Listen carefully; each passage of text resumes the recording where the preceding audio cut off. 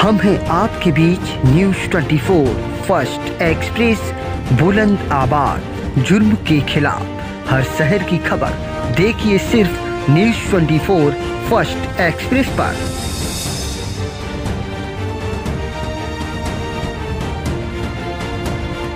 नमस्कार, आप देख रहे हैं न्यूज़ 24 फ़र्स्ट एक्सप्रेस और मैं हूँ आपके साथ मानवी ठाकुर। शुरुआत करते हैं आज की खास खबरों से। गाजीपुर जिला कांग्रेस कमेटी द्वारा उत्तर प्रदेश में भाजपा सरकार की नाक के नीचे फर्जी ढंग से चलाई जा रही कंपनियों के खिलाफ कार्रवाई को लेकर आज पूर्व निर्धारित कार्यक्रम के तहत डीएम कार्यालय के सामने धरना प्रदर्शन कर राष्ट्रपति को संबोधित पत्र जिलाधिकारी गाजीपुर के माध्यम से भेजा।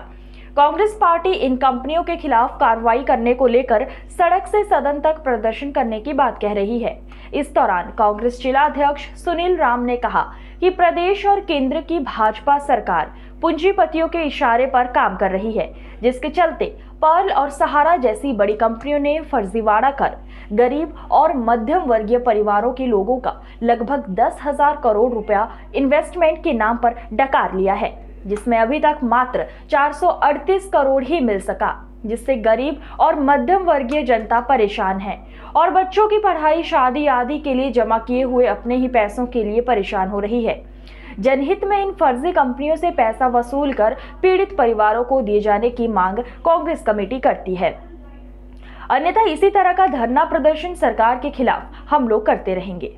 देखिए, इस उत्तर प्रदेश के अंदर, पूरे देश के अंदर जिस तरह भारतीय जनता पार्टी की सरकार चल रही है और पर्ल और सहारा, जो ये फर्जी कंपनियाँ हैं और इनको संरक्षण दे रही है, जो गरीबों की गाढ़ी कमाई, जो गरीब हैं, अपने पेट को काट काट करके, पैसा जुटा करके, और ये कंपनियाँ इनका पैसा जमा की है, जबकि इनका कोई आधार नहीं है।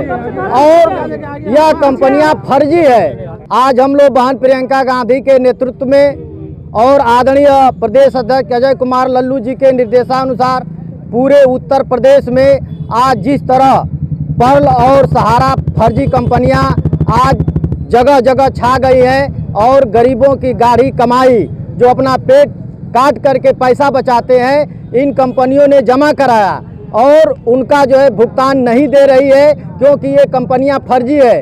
और अपने जो है, जो इसके मुख्य जो मालिक हैं कभी उनका नाम बदलना कभी उनका नाम बदलना कभी उनको उनका जो जमा किया हुआ राशि है उसको जो है दूसरे आ, में मर्ज करना इनका यह काम चल रहा है। निश्चित रूप से यह जो है फर्जी है। हम उत्तर प्रदेश के अंदर जो ये कंपनियाँ चल रही हैं गाजीपुर जिला कांग्रेस कमेटी इनका विरोध करती है कि जब तक गरीबों का पैसा वापस नहीं लिया जाएगा नहीं दिया जाएगा तब तक हम लोग जो है सड़क से लेकर सदन तक संघर्ष करते रहेंगे, क्योंकि ये गरीबों का पैसा है। और ये फर्जी कंपनी बंद हो, जो भारतीय जनता पार्टी के संरक्षण में फल फूल रही है। आज की खबरों में बस इतना ही, देखते रहिए न्यूज़ 24 फ़र्स्ट एक्सप्रेस। नमस्कार।